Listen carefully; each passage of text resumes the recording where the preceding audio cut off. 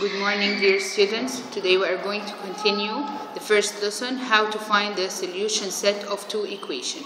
We took before how to find it uh, graphically. Today we are going to find the solution set algebraically. The first method is the substitution method. We have two equations, 2x minus y equal 3 and x plus 2y equals 4.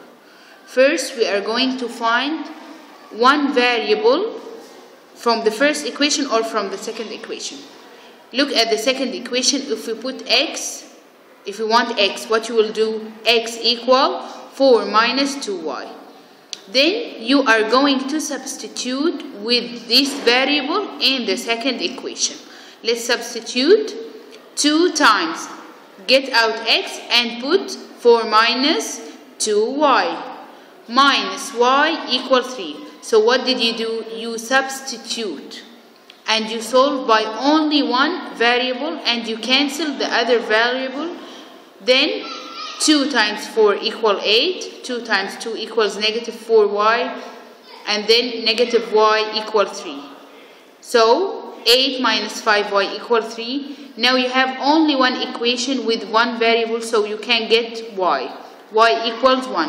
After you find y, you have to substitute again in the first equation or any equation you want. If we will substitute in the third equation, so 4 minus 2 times 1 equals 2. Solution set must be in order pair and between braces. x equals 2 and y equals 1. Another example, 3x plus 2y equals 4, x minus 3y equals 5. We said before we want x or y. Let's get x. So x equal 5 plus 3y. Substitute in the other equation. Get x and substitute with 5 plus 3y. Then find the value of y. It will be negative 1. After that, what we are going to do? Substitute by y and get x. Get x, x equals 2. So the solution set is 2 and negative 1. This is the first method the substitution method. Substitute means I am going to substitute one variable by the other. The second method is omitting method. That means that I'm going to omit one of the variable. Like what?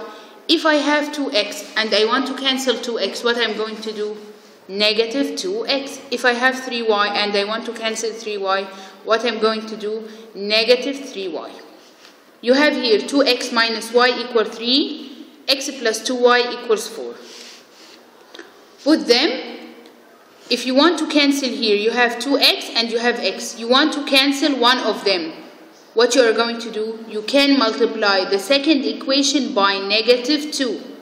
So you are going to cancel 2x with negative 2x.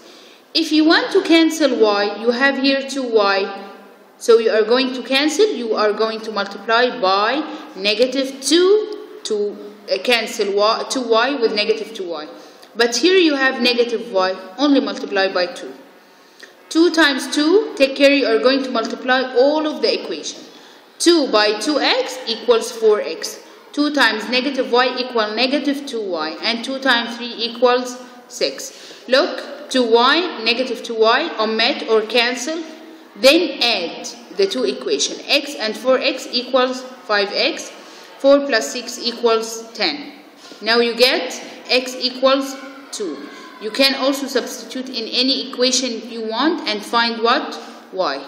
When you substitute, it will be y equals 1. Don't forget to find the solution set. It will be 2 and 1.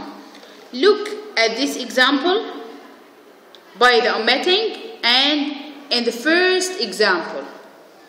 The two examples are the same and the solution set are the same. So if you want to find the solution set by substitution or by omitting, you will find the same answer. Number B, 3x plus 4 equals 3x plus y sorry equal 4, 6x plus 2y equals 3. I want to omit y, so I will multiply y by what? Here you have 2 so you will multiply by negative 2.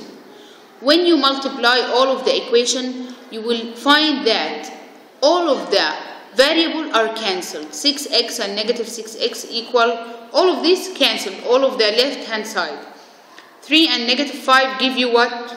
Negative 3 and negative 8 give you what? Negative 5 is 0 equals negative 5 no. So what does that mean that means that you don't have a solution set. That means that the two equation or the two straight lines are parallel and that means that the solution set is phi. Okay? We can write phi between two braces or you can write it like that.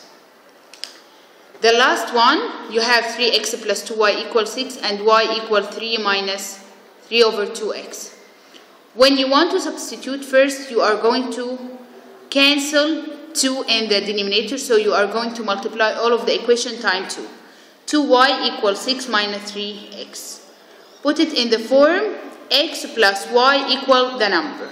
Put it in this form.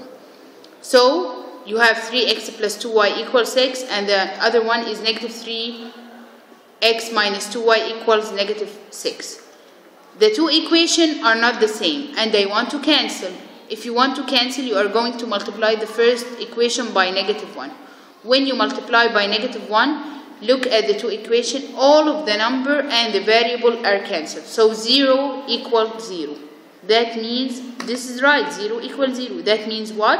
That means that the solution set or the two straight line are coincident. So the solution set is infinite number of solution set and before we said if you want to write the solution set between two bracket x y such that y and write the equation 3 minus 3 over 2x and put them between braces. Okay? Your homework is page 9 and 10 in your booklet. Thank you for your listening.